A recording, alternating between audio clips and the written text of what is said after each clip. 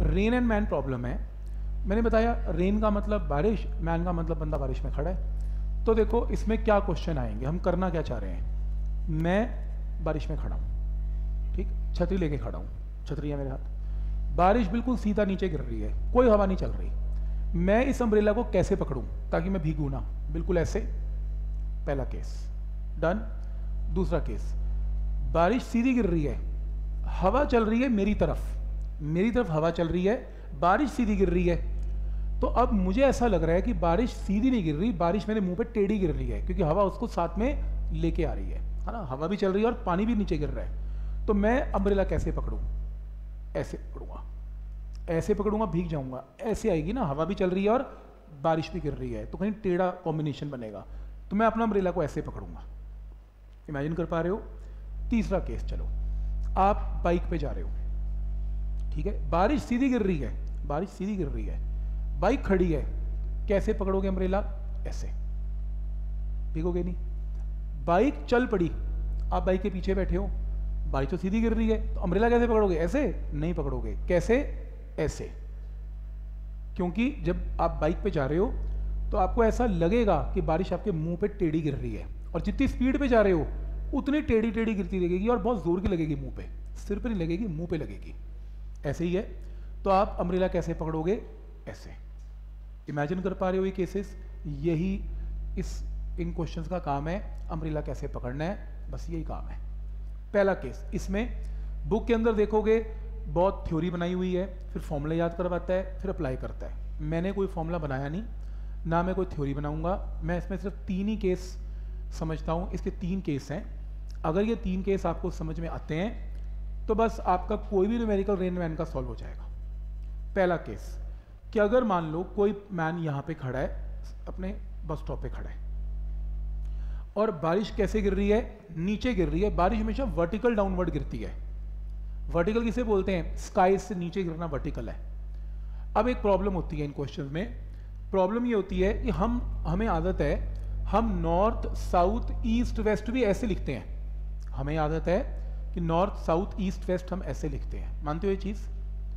अब सोचो north south ये रहा और रेन कैसे गिर रही है वर्टिकली डाउनवर्ड अरे, ये कैसे? मतलब नॉर्थ साउथ भी नीचे है रेन भी वर्टिकली डाउनवर्ड ये क्या बात बनी? कंफ्यूजन है।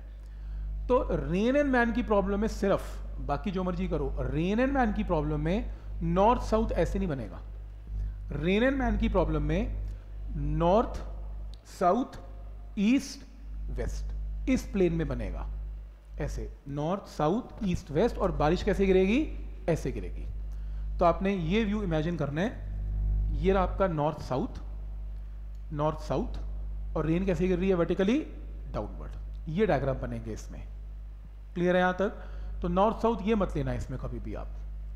करें स्टार्ट तो पहला केस मैन बस स्टॉप पे खड़ा है। ये खड़ा है।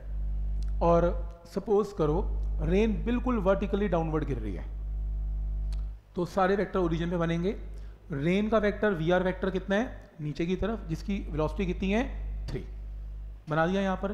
तो रेन नीचे गिर रही है vertically downward three kilometre per hour कोई डाउट इसमें? ये गिवन है। बना लिया एक वेक्टर अब जब मैं लिखता हूँ वी आर वैक्टर सिर्फ़ वी आर वैक्टर कि वी आर वैक्टर का magnitude three kilometre per hour है।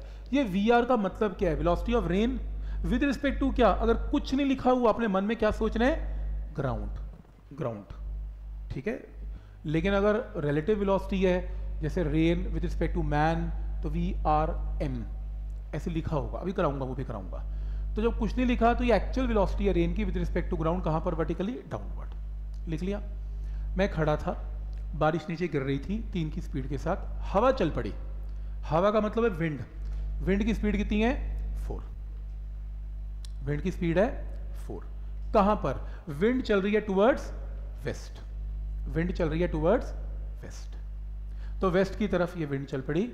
वेलोसिटी ऑफ़ विंड वेक्टर कितने? है फोर दोनों गिवन है आपको. अब मुझे सिर्फ़ ये बताओ, मैं खड़ा हूँ. अगर हवा ना चलती तो मेरे सर पे बारिश गिरती विद स्पीड ऑफ़ कितनी? थ्री आंसर थ्री था. हवा भी चल पड़ी, पानी भी गिर रहा है नीचे, बारिश भी गिर रही है. तो मेरे से पूछा गया कि सर आपको बारिश कैसी फील हो रही है? ऊपर से हो रही है? नहीं, ऊपर से नहीं हो रही। मैं कहूँगा टेढ़ी हो रही है। हवा की तरफ़ इस डायरेक्शन में आ रही है। मानते हो? तो आपके मुँह पे जो बारिश गिर रही है, उसकी वेलोसिटी कितनी है? मैं तीन नहीं बोल सकता। तीन तो ऐसे आ रही थी। हवा का भी ज़ोर चल रहा है। तो मेरा आंसर होगा इनका रिजल्टेंट क्योंकि मेरे मुँह पे हवा भी लग रही है और रेन भी गिर रही है। तो इन दोनों का वेक्टर का रिजल्टेंट क्या होगा? पैलोग्राम लॉ वेक्टर एडिशन तो ये इसका रिजल्टेंट है velocity of water vector wind wind and rain तो ये अगर चार है, ये तीन है, ये चार है तो ये भी चार है तो पाइथागोरस से ये अगर तीन है, ये चार है तो ये पाँच है। तो मेरे मुँह पे जो रेन घिरेगी उसकी स्पीड में क्या बोलूँगा, कितनी है? पाँच है। क्योंकि मेरे ऊपर combination of wind and rain है। और बोथ आर वेक्टर और वेक्टर्स को ऐड करने के लिए पैलोग्राम लॉ वेक्टर एडिशन क्या ये स्टेप क्लियर है? तो मेरे ऊपर जो रेन गिरेगी, उसकी स्पीड तीन नहीं होगी, उसकी स्पीड पाँच है। कोई डाउट पहला स्टेप दूसरा, मैं अम्ब्रेला कहाँ पकड़ू? अब मेरे को जो रेन मेरे मुँह पे गिर रही है, वो इस डायरेक्शन में आ रही है। तो अम्ब्रेला एग्जैक्टली exactly क्या पकड़ना है? इसके ऑपोजिट भाई, मेरे को लग रहा है रेन ऐसे गिर रही है तो अम्ब्रेला एग्जैक्टली exactly इसके ऑपोजिट पकड़ के बैठ जाऊँगा। नहीं भीगूँगा। तो ये अम्ब्रेला हो गया। तो अगर ये एंगल थीटा तो वर्टिकली ऑपोजिट से ये एंगल भी थीटा तो आपको एंगल थीटा निकालना है। तो एक काम करते हैं इस ट्राइंगल में टेन थीटा क्या है? This four upon three tan theta four by three theta क्या है? Tan inverse four by three तो अगर ये theta tan inverse four by three है तो ये एंगल भी कितना है? Tan inverse four by three तो मैं बोलूँगा कि मैंने अम्ब्रेला को पकड़ा at an angle of tan inverse four by three with vertical तो वर्टिकल के साथ एंगल कितना है? Tan inverse four by three कोई डाउट इसमें? पॉइंट समझ में आ रहे हैं यहाँ तक? क्लियर है यहाँ तक? तो ये आपके पास वैल्यू आएगी। तो कैसे आंसर देने समझ में आ रहा है? तो कुछ नहीं करना। हवा चल रही है, बारिश गिर रही है और मेरे ऊपर उसका कॉम्बिनेशन गिर रहा है। तो इसका रिजल्टेंट आ गया और अम्ब्रेला की डायरेक्शन एग्जैक्टली इसके ऑपोजिट आ गई। कोई डाउट इसमें? क्लियर है यहाँ तक? अच्छा ये केस नंबर वन है। मतलब इस टाइप की प्रॉब्लम प्रॉब्लम नंबर वन आएगी।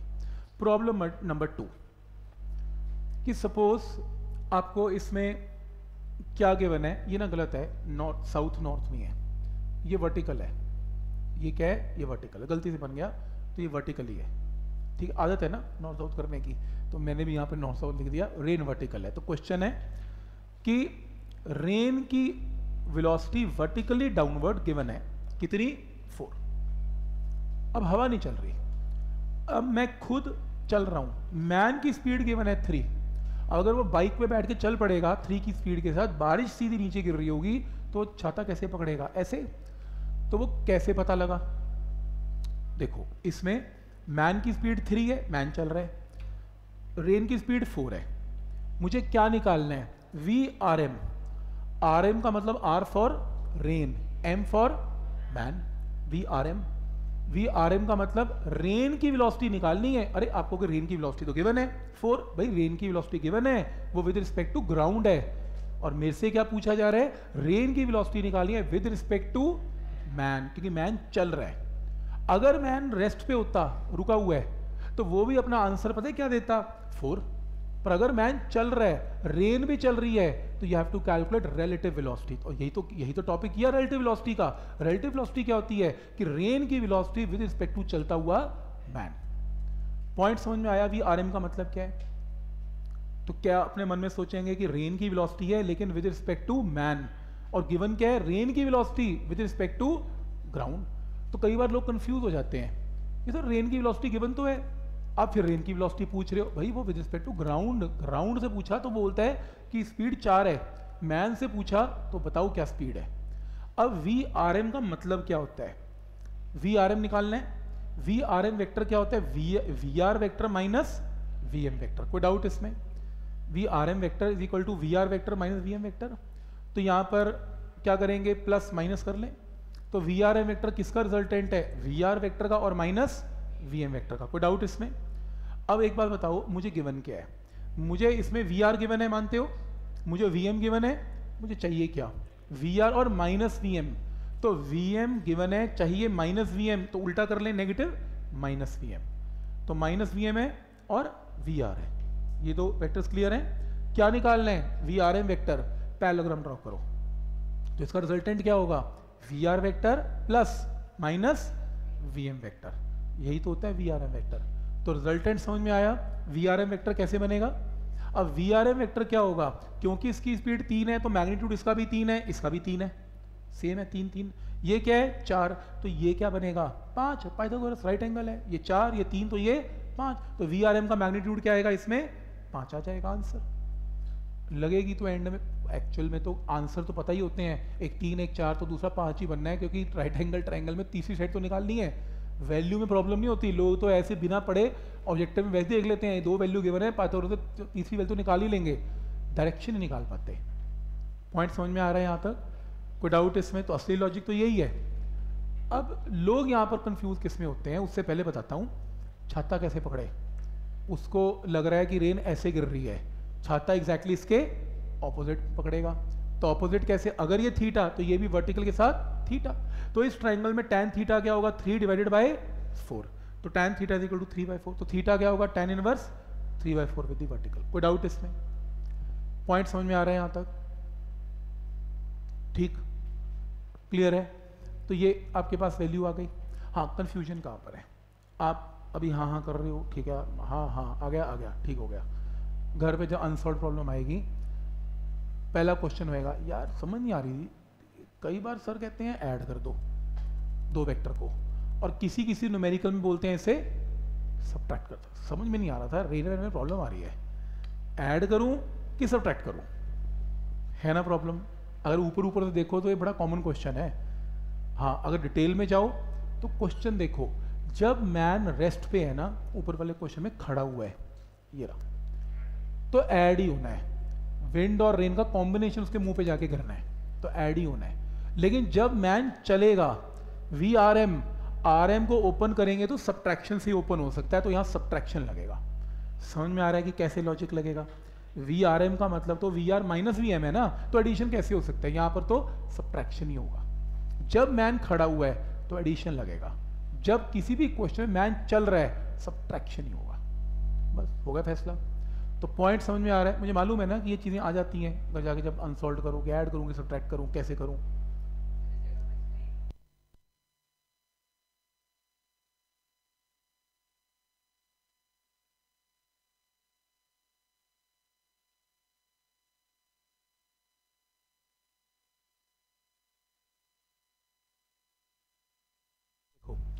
अगर आपने इसका रिजल्टेंट लेना है, मैं पैलोग्राम से लेके दिखाऊँ। पैलोग्राम से ये रिजल्टेंट क्या है? वी आर एम तो वी ऑफ़ आर एम क्या होगा? V R M will be equal to under root of ये कितना है? फोर ये कितना है? थ्री तो थ्री का स्क्वायर प्लस फोर का square plus two into three into four into angle between M is ninety यार ये तो हट गया ना। तो आंसर तो फिर पाँच ही आया ना फिर से। पर मैं कह रहा हूँ, ये करने की ज़रूरत क्या है? राइट एंगल में तो खुश होने वाली बात है कि चलो यार फॉर्मूला बच गया, सीधा ही तीन, दो साइड गिवन है, तीसरी आगे डन ठीक है, यहाँ तक ये दूसरा केस है। पहला दूसरा क्लियर है, तीसरा case. Fine direction of rain अब कैसे?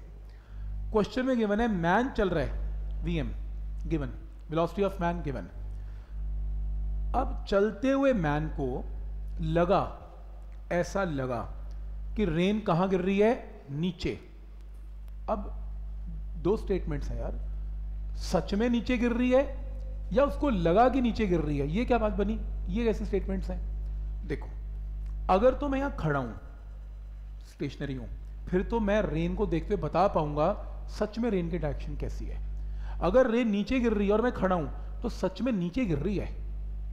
लेकिन अगर मैं चल पड़ा बाइक पे तो मुझे वो रेन सीधी कभी नज़र आएगी नहीं, मेरे को टेढ़ी नज़र आएगी। तो मुझे लगा कि रेन टेढ़ी है, लेकिन एक्चुअल में रेन सीधी है, ऐसा क्यों लगा? क्योंकि मैं खुद मोशन में हूँ। तो जो मुझे लगता है, चलते हुए मैन को जो भी लगता है, वो सही कभी नहीं लगता यार, वो गलत लगता है। रेस्ट पे पड़े हुए मैन को जो लगता है, वो हमेशा सही लगता है। समझ में आया? सच और झूठ का फैसला। जो लगा, चलते हुए मैन से अगर आपने कोई चीज़ पूछ लिया, भाई, तेरे को क्या लगा? वो हमेशा ही गलत आंसर देगा, उसने ठीक बोलना ही नहीं है कभी भी। ठीक है? क्योंकि हम ठीक किसे मानते हैं। तो आंसर तो वो भी ठीक देता है। ठीक और गलत का फैसला हम जो फिजिक्स वाले मानते हैं विद रिस्पेक्ट टू ग्राउंड मानते हैं। हम मानते हैं, यार, हमें तो आदत है ग्राउंड के साथ काम करने की, बस तुम बताओ, इसकी एक्चुअल वेलोसिटी क्या है? विद रिस्पेक्ट टू ग्राउंड क्या है? ये चलते हुए बंदे को तो कुछ भी लगता रहेगा। कोई तेज चल रहा है, कोई स्लो चल रहा है, सबके आंसर डिफर करेंगे। इसलिए फिजिक्स वाले क्या मानते हैं? हर चीज़ विद रिस्पेक्ट टू ग्राउंड चलता है। ठीक है? पर क्वेश्चन तो क्वेश्चन है। वो कहता है, जो मैन चल पड़ा। चलते हुए मैन को लगा कि रेन नीचे गिर रही है। अब चलता हुआ मैन रेन को कैसे पढ़ता है? वी आर थोड़ी ना पढ़ता है कि वी आर का मतलब होता है V R with respect to ground वो क्या पढ़ेगा वी आर एम क्योंकि रेन की वेलोसिटी कौन बता रहा है? चलता हुआ मैन ये वी आर एम है। और हमें क्या निकालना है? एक्चुअल में रेन की वेलोसिटी कहाँ है? वी आर बताओ क्या है। तो समझ में आ रहा है? फिर से। वी एम गिवन है वेलोसिटी ऑफ़ मैन गिवन है। इस मैन को ऐसा लगा मैन से पूछा कि तेरे को रेन कैसी दिख रही है? तो वो बोलता है, मेरे को रेन नीचे वर्टिकली डाउनवर्ड दिख रही है। तो कौन बोल रहा है ये? ग्राउंड तो नहीं बोल रहा। ये कौन बोल रहा है? मैन और किसकी वेलोसिटी बता रहा है? रेन की। तो ये क्या है? Velocity of rain with respect to क्या? मैन ये एक्चुअल नहीं हो सकती, क्योंकि एक्चुअल वेलोसिटी को किससे रिप्रेजेंट करते हैं? वी आर से। समझ में आया यहाँ तक? तो क्वेश्चन है कि इस चलते हुए मैन को लगा कि वेलोसिटी ये है तो एक्चुअल में रेन ऐसे नहीं गिर रही। तो एक्चुअल में कैसे गिर रही है, ये आपको बताना है। राइट तो इसको करने के लिए, एक बात बताओ। वी आर एम मुझे गिवन है ना नीचे? वी आर एम होता क्या है? पहले ये फैसला कर लो। वी आर एम वैक्टर होता है V R vector plus minus V M vector तो दो वेक्टर का सम है वी आर और माइनस वी एम अब मैं आपसे एक क्वेश्चन पूछता हूँ। मैं आपको दो वेक्टर दे रहा हूँ। एक दे रहा हूँ वी आर एम वैक्टर ले लो मेरे से, ये लो। एक मैं दे रहा हूँ वी एम वैक्टर दे दिया। मुझे किसकी रिक्वायरमेंट है? वी आर की और माइनस वी एम की? मैं आपको ये दो वेक्टर दे रहा हूँ। वी एम दे रहा हूँ माइनस वी एम तो नहीं दे रहा। तो वी एम को माइनस वी एम बनाने के लिए एक तो इसको उल्टा करो। कर लिया। तो एक वेक्टर दे रहा हूँ माइनस वी एम एक मैं दे रहा हूँ रिजल्टेंट वी आर एम किसका?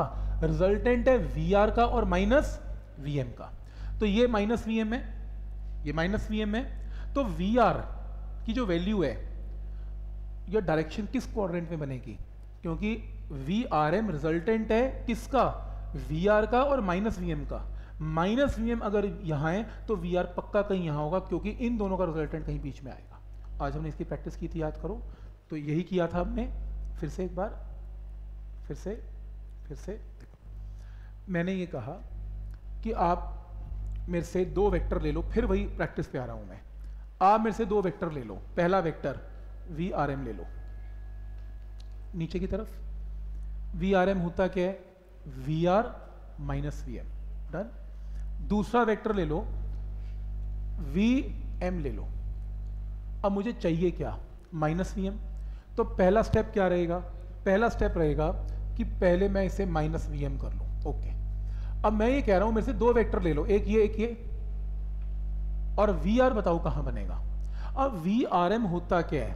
V R vector plus minus V M vector यही होता है ना? तो यानी कि resultant of minus V M and V R ये रिजल्टेंट है किसका?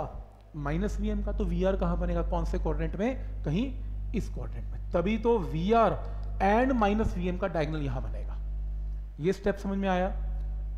क्लियर है यहाँ तक?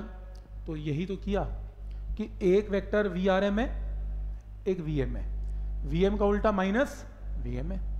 तो minus V M and V R का रिजल्टेंट ये रहा। तो एक वेक्टर माइनस वी एम एक वेक्टर वी आर तभी तो बीच में रिजल्टेंट आएगा। तो एक वेक्टर ये बनेगा एक ये बनेगा।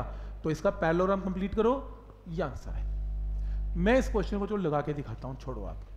क्वेश्चन में गिवन है कि मैन की स्पीड है सिक्स गिवन है? इस मैन को लगा कि रेन नीचे गिर रही है एट के साथ तो वी आर एम आठ तो आपको दो वेक्टर दे दिए। V M V R M clear है यहाँ तक? अब आपने क्या करना है?